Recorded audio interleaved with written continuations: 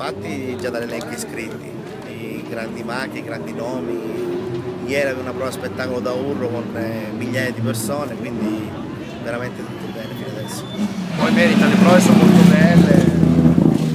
Ok, come sta andando rally? Molto bene direi. Soddisfatto? Pronostico non lo diciamo, tanto lo sappiamo già.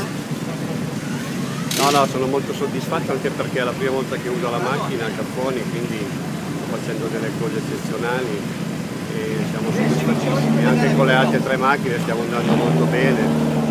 Vai, sì, Guarda, raccontami. Tiziano alla fine eh, poteva avere la vittoria, perché la gara non è ancora finita, però diciamo che ha fatto un piccolo errore stamattina e quindi ha perso 15 secondi, eh, poteva essere diciamo, a 5-6 da Capponi, però dai ci sono quelle due prove abbastanza lunghe e quindi fino alla fine vediamo cosa succede.